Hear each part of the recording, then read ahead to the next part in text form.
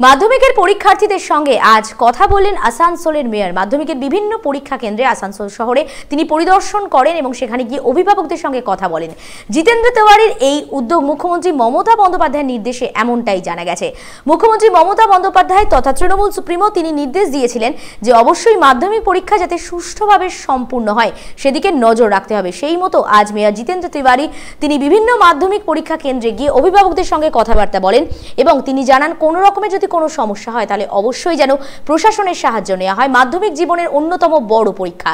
সেই বড় পরীক্ষায় কোনো রকমের বাধা বিঘ্ন যাতে না আসে, সেদিকেও নজর রাখতে বলেন তিনি সবাইকে।